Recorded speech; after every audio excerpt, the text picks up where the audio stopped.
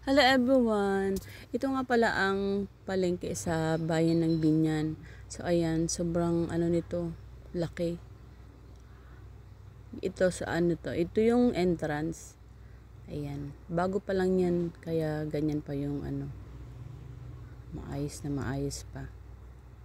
So ayan, umuulan-ulan nga kahapon pagpunta ko dyan. Tsaka tanghali na ako nagpunta dyan kaya medyo ano na, konti na lang yung tao. Alas 12 ata ako nakapunta dyan. So ito yung ano, kapag bumili ka ng isda dyan ka magpapalinis. Libre na yung palinis dyan.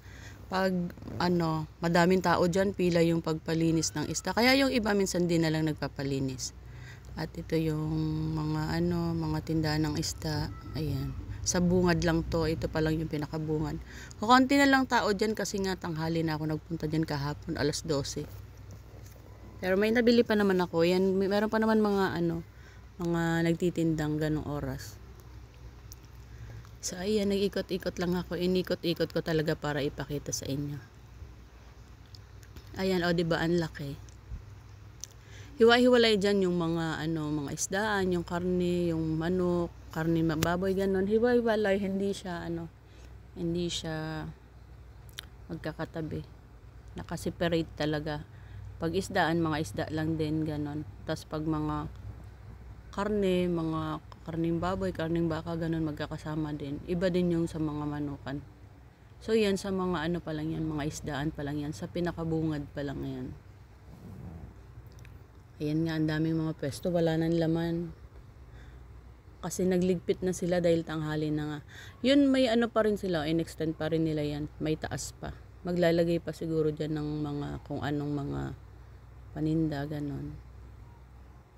So ayan, o oh, diba ang laki. Pero pag maaga ka na malingki dyan, talagang siksikan yung tao lalo na pa Sabado at Linggo. So nung time na yan, parang mas maganda nga nakapunta akong tanghali para at least ganyan, no napakita ko talaga sa inyo yung lawak ng palengke ng ano binyan. So ayan o oh, di ba wala halos wala ng tao bilang na lang yung mga tao diyan yung mga ibang pwesto wala ng tinda. Nagligpit na sila.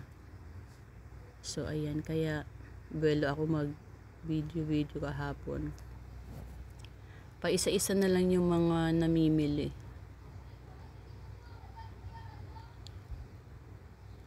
Ayan naman yung mga ano, mga manukan, tindahan ng mga karne ng manok, kanyan. Nag-ikot-ikot talaga ako kahapon. So, tas yung dulo na yon yung mga ano, karning baboy, karning baka, ganun. Ayan, sa dulo. Hindi na ako pumunta doon sa pinakadulo kasi malawak pa yan doon sa pinakadulo. Ito naman yung mga tindahan ng kung ano-ano, mga grocery, ganyan. So, ayan. Tinaanan ko na rin. Bale, ang lawak talaga niyan. Yung palengke ng binyan. May mga tindahan ng tuyo, ganyan. Pag dyan ka na, na parang ano, yung lahat talaga ma, ano mo na dyan, mabibili mo na dyan. Mag-ikot-ikot ka lang. Ayan. Ang lawak, 'di ba? So ayan, yun, dito na lang ako nakabili kahapon ng ano, ulam. O, di ba? Ang linis na, wala nang mga, wala nang mga display kasi nga nagligpit na sila. Malinis na. Pero pag ano maaga pa, lahat 'yan may ano, may display. Lahat 'yan may mga ano, mga tindayan diyan. Walang bakante diyan. Siguro maaga na ubos yung mga paninda nila kaya ganon.